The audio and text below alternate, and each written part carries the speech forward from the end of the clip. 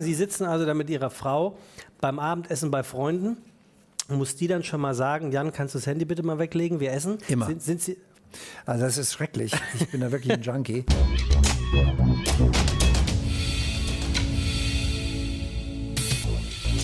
er ist der Chefsprecher der Tagesschau, aber wer ist eigentlich der Chef vom TikTok-Kanal der Tagesschau?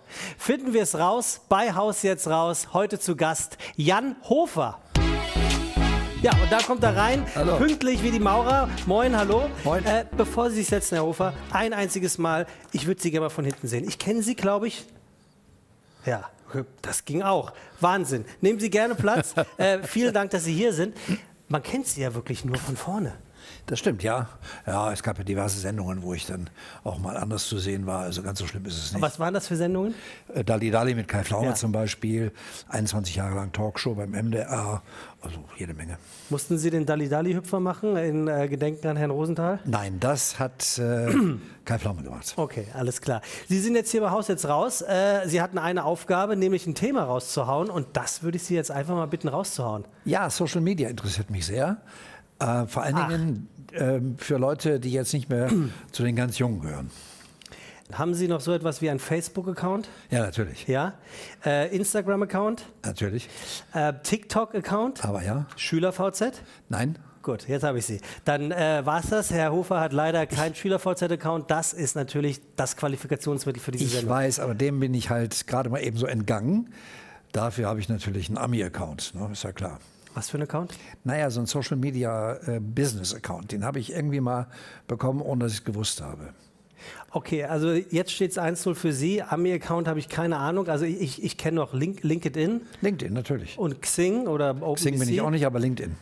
Gut, also Sie sind völlig im Game. Ähm, hat jeder in der Tagesschau äh, bei Ihnen die, all diese Accounts oder sind Sie wirklich nicht nur Chefsprecher, sondern auch Chef Social Media Beauftragter? Ich glaube ja, also es gibt einige, die sehr aktiv sind. Es gibt einige, die lehnen das komplett ab. Wie finden denn das die, die Zuständigen eigentlich äh, bei der Tagesschau? Ist das, ist das unseriös, seriös? Muss das sein? Also wir machen ja selbst in Anführung unseriöse Geschichten, um, um äh, junge Leute zu erreichen. Mhm. Also ich habe ja auf TikTok ein paar Sachen gemacht, die normalerweise der Tagesschau nicht so entsprechen. Sie haben wirklich Gedanken. einen TikTok-Kanal. Wahnsinn. Ja, ja, klar. Und ähm, also ich habe ja mal eine äh, Homeoffice-Tagesschau gemacht zum Beispiel und solche Geschichten, sehr erfolgreich. Aber ähm, grundsätzlich gilt es natürlich schon, darüber nachzudenken, passt das irgendwo noch rein oder Ja. passt das nicht? Aber was, mach, was machen Sie bei TikTok? Also äh, machen Sie da Lip-Syncing von einem asiatischen Plenarsaal, wo sich die Leute irgendwie die Schnauze einhauen? Oder was, was, Lip-Syncing habe ich auch schon mal gemacht und zwar bei einer ganz alten Tagesschau-Folge. Das hat aber keiner begriffen, ehrlich gesagt, nur ich. Und ähm, dann mache ich so kurze, kurze Geschichten halt. Dann sitzt, Sie sitzen also da mit Ihrer Frau beim Abendessen bei Freunden. Muss die dann schon mal sagen, Jan, kannst du das Handy bitte mal weglegen? Wir essen. Immer. Sind, sind Sie, Immer. Sie sind, also Sie sind dabei. Immer. Also das ist schrecklich. Ich bin da wirklich ein Junkie. Ähm, ich habe zum Beispiel irgendwann mal gesagt, ich würde gerne mal die Tagesschau erklären. Und zwar nicht die Inhalte, sondern das Ganze drum, drumrum, was da so alles passiert, der Gang ins Studio, das Studio an sich, den Teleprompter und so weiter und so weiter. Aber das eben nicht in so einer statischen, gut gemachten, äh, äh, fernsehgerechten Geschichte, Sondern rough. sondern raff, richtig. Ich erkläre denen das. Sie haben um 20 Uhr auf äh, Sendung. So, dann steigen Sie um 7 Uhr in Ihren E-Smart, fahren nach Lockstedt Ja, und sind schön. um halb acht da, setzen sich kurz hin, liefern ab, Sakko an, Krawatte sitzt, gib ihm und fertig. Ist das der Arbeitstag? Das wäre schön. Ähm, ich ich sage manchmal, äh, dass das so ist. Also ich werde nicht bezahlt für die 15 Minuten um 20 Uhr, sondern ich werde bezahlt dafür, dass ich 24 Stunden an 365 Tagen öffentlich bin und praktisch für die Tagesschau immer verfügbar bin. Also im, in den Augen der Leute, ob ich im Bus bin oder im Zug oder auf der Straße, ich bin immer irgendwo für die Tagesschau da und werde auch äh, unterliege einer sehr starken äh, öffentlichen Kontrolle. Aber so ist das natürlich nicht. Also erstens ist man rechtzeitig in der Redaktion, also ich denke mal zwei Stunden vorher mindestens. Da muss man in die Maske, man muss eingeleuchtet werden, man beschäftigt sich mit den Themen und so weiter und so weiter und so weiter. Dann ist die Sendung zu Ende um Viertel nach acht, dann wird eine Nachbesprechung gemacht. Die nächste ist um neun. Die sieht man in der Regel im Fernsehen nur bei Tagesschau 24 oder auf dem Handy. Mhm. Und dann sind nochmal Tagesthemen und dann ist Bereitschaft bis 0 Uhr. Also ich bin von 18 Uhr bis 0 Uhr mindestens im mhm. Sender. Okay, also, also fast ein Arbeitstag. Äh, naja, der ist eigentlich ein Arbeitstag, weil wir arbeiten ja 24 Stunden, das vergessen die Leute immer, und zwar immer live. Der nächste kommt also um 0 Uhr ja. bis morgens um 6. Dann kommt von 6 Uhr bis 12 und von 12 wieder bis 18. Also es sind vier Schichten am Tag. Und was macht Ihre, Ihre Position als Chefsprecher besonderer als die Position von, na, sagen wir, Linda Zerwakis? Also ich bin so ein Primus inter pares. Mhm. Ähm, ich bin die Binde, das Bindeglied zwischen Chefredaktion, Programmdirektion und den Kolleginnen und Kollegen. Ich bin zuständig für die Administration, also für die äh, Dienstpläne, für die Urlaubsplanung, für... Also Sie haben hier schon den höchsten Grad? Alles Mögliche, ja. Okay. Schreiben Sie die Texte selbst, die Sie vorlesen? Zum Teil. Ach, wirklich? Äh, ja, es kommt drauf an. Wir haben ja ähm, die Tagesschau, die klassische Tagesschau. Da ist es nicht möglich, weil wir da so viele Korrespondentengeschichten und äh, äh, Geschichten haben, die von außen kommen, dass man das gar nicht machen könnte. Also das müssen Redakteure machen, die in Verbindung mit denen mhm. sind. Aber wenn ich Tagesschau 24 mache, bin ich gut damit beschäftigt, drei, vier Schwerpunkte am Tag vorzubereiten. Gut, also das heißt, Sie, Sie schreiben teilweise, Sie lesen das logischerweise Korrektur, weil nichts kann schlimmer sein, als eine Nachricht vorzulesen, die sinnbefreit ist, richtig? Naja, das Problem hatte ich zum Beispiel vorgestern, dass in der Sendung noch einiges geändert wurde. Und dann können Sie das nicht mehr. Ja. Dann müssen Sie einfach zusehen, dass Sie, es, dass Sie es einigermaßen fehlerfrei rüberkriegen. Und in der Geschwindigkeit dessen, wo geändert wird, können auch schon mal Fehler passieren. Und der Teleprompter ist ja so ein Gerät, so ein Spiegel, der vor der Kamera ist und der hat nur eine sehr begrenzte Möglichkeit, äh, Zeilen vorzulesen. Also da kann man nur hoffen, dass man einigermaßen drüber kommt. Wenn nicht, hm. muss man sagen, Entschuldigung und dann fängt man wieder von vorne an. Sind Sie noch aufgeregt? Wenn ich morgens mit dem falschen Bein aufgestanden bin, ja, sonst nicht. Nein. Aha. Naja, gut, wenn Sie morgens falsch aufstehen, merken Sie das immer noch 20 Uhr? Ja, so ein Tag ist lang. Also ähm, es gibt so Tage, wo man nicht gut drauf ist. Okay, dann haben Sie so einen Tag mal, der nicht gut drauf ist, den hat es ja auch mal gegeben, wo Sie sich dann versprochen haben oder wo irgendetwas vorgefallen ist. Ist Social Media, um nochmal zurückzukommen auf das äh, Thema, dann eher Fluch oder eher Segen? Weil was genau dort ja passiert ist, ist ja sofort in Social Media und zwar noch mehr geklickt, als die Tagesschau vielleicht gesehen wurde. Ja, es ist insofern ein Segen, weil wir haben natürlich einen Social Media Kanal vergessen, den ich natürlich auch habe, Twitter. Ja, natürlich. Und über Twitter kann man sehr gut und sehr schnell etwas richtigstellen.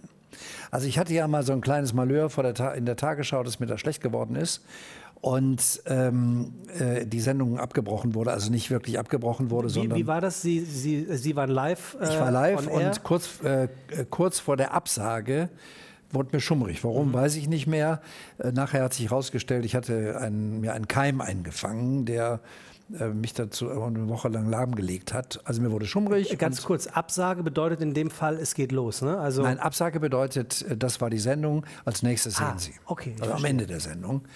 Äh, und die Kamera wurde nicht schnell genug abgeschaltet. Also man hat gesehen, dass ich mich da festgehalten habe. Ich bin noch nicht umgekippt oder so, aber mir wurde halt schon ruhig. Und ähm, dann gab es natürlich da einen riesen Aufschrei überall und auch Zeitungen haben berichtet und so weiter. Und über Twitter konnte ich dann eben sehr schnell sagen, Leute, ist alles gut, ich bin gerade gecheckt worden, ärztlich, alles prima, war einfach nur ähm, eine Unverträglichkeit von irgendwas. Gut, also Sie sagen, in dem Fall ist es ganz klar ein Segen, dass man sich sofort dazu äußern kann und es Millionen von Menschen lesen. Ähm, nun sind Sie knapp über 40, das heißt, Sie gehören zu der Generation, die durchaus sagen könnte, früher war alles besser, beziehungsweise all das, was wir heute haben, brauchen wir eigentlich nicht immer.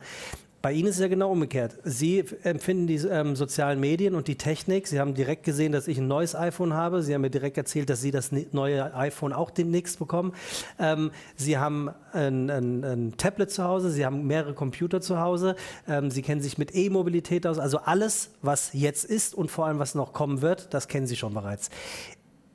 War alles blöd, was früher bei Ihnen gewesen ist? Oder gibt es immer noch so ein paar gute alte Sachen, wo Sie sagen, nö, da hat Social Media selbst im Alter keine Chance? Es gibt äh, Dinge, die waren für meine Begriffe besser, weil menschlicher. Beispielsweise? Ähm, der Computer äh, vergisst nichts. Mhm.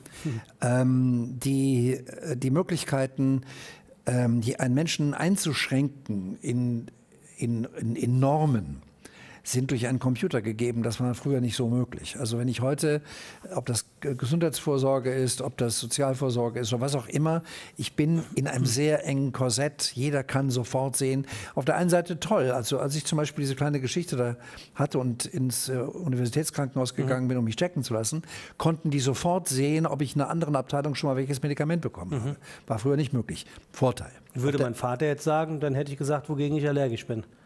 Ähm, ja, natürlich, klar.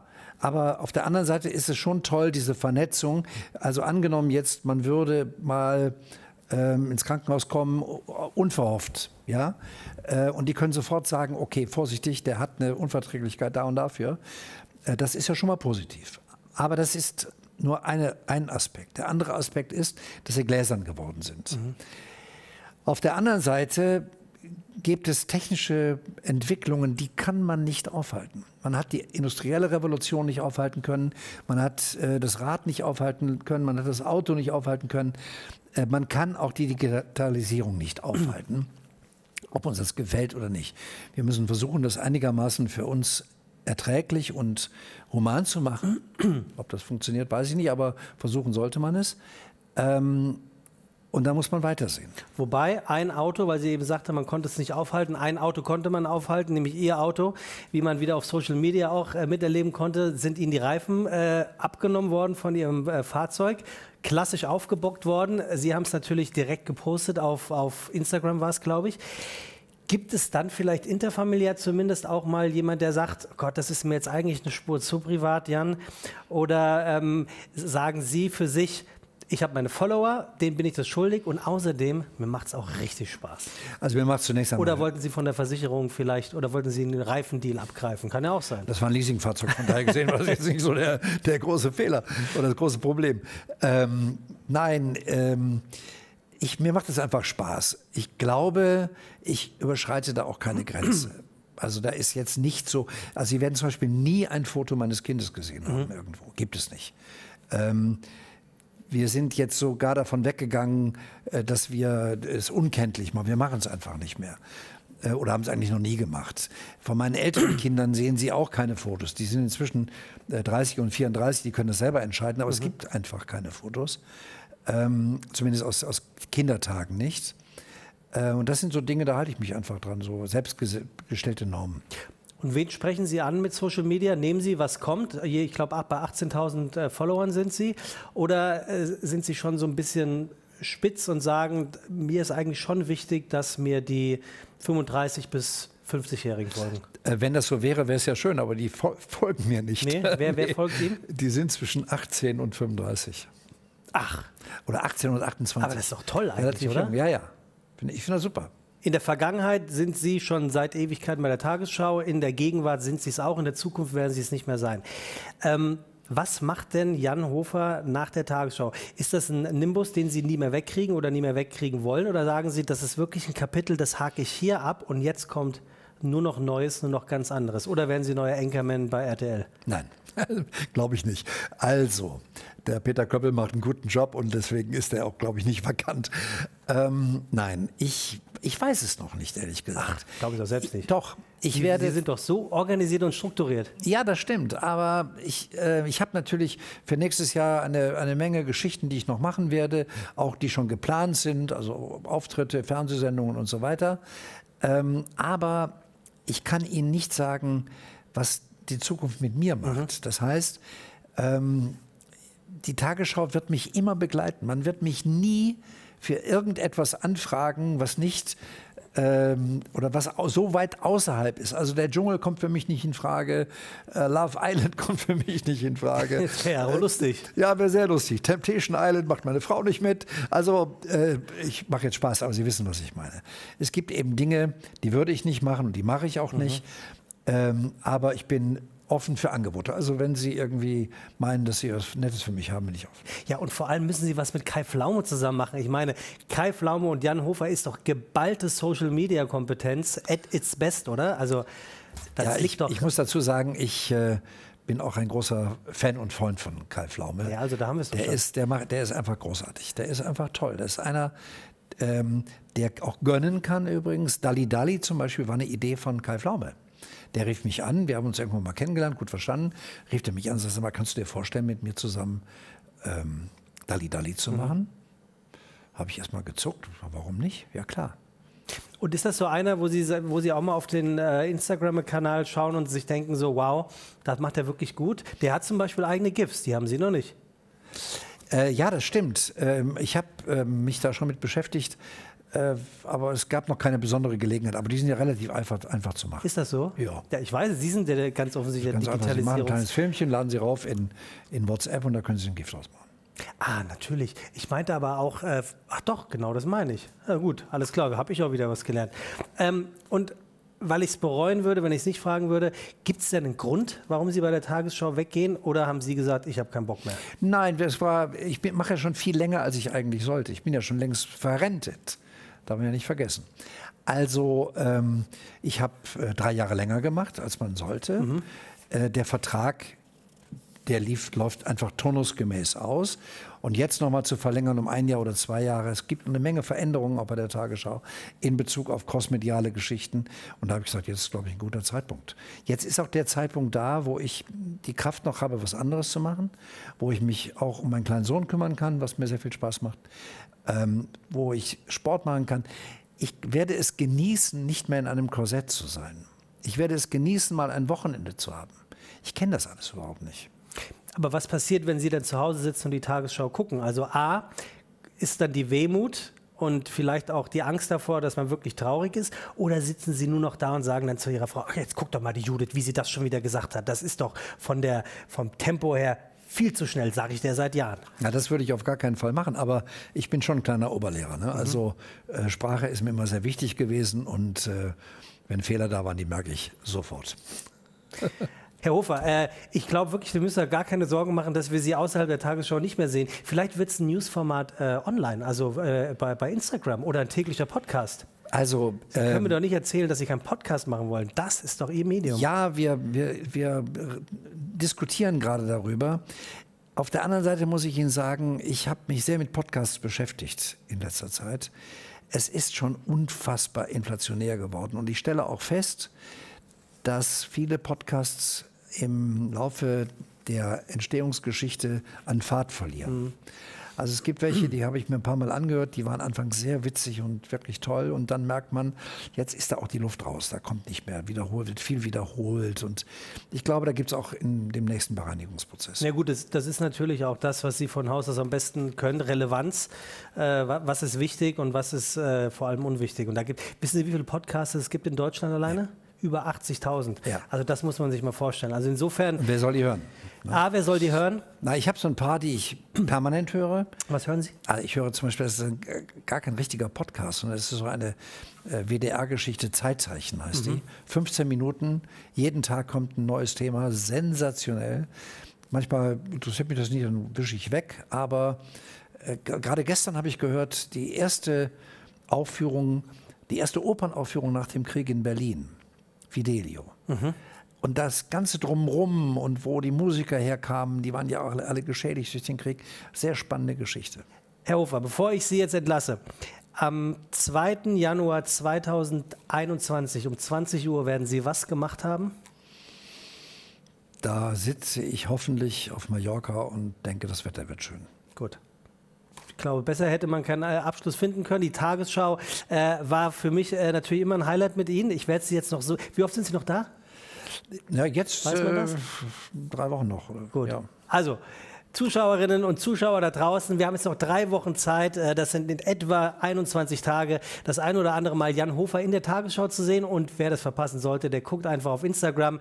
Äh, vielen Dank, dass Sie hier gewesen sind, Jan Hofer. Jeden Dienstag neu eine Folge hier auf äh, YouTube, Haus jetzt raus.